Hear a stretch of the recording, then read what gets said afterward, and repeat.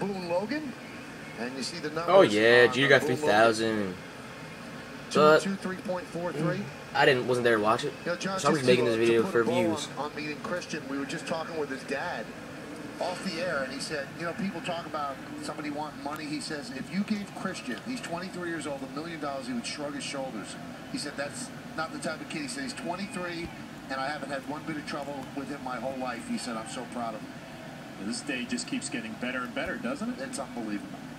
Very cool to be here, and I'm sure the close to 50,000 feel the same way, and they've seen a pretty good ball game as well. Wait for it.